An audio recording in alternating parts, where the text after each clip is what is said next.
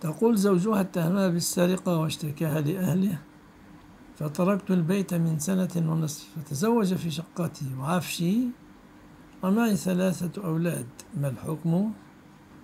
إذا كنت صادقة أنك بريئة هذا ظلم لكن ادفعي عنه هذه الشبهة. وكقضية لا يجوز له أن يتزوج على شقتك في شقتك وعلى فراشك.